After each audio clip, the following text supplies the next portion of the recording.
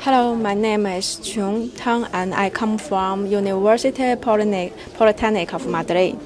Yeah, I'm a doctor study here. Here is my poster, and um, at least uh, a part of my work. And it is also an abstract of my paper. My work, my work is a operations, operation system level power estimators.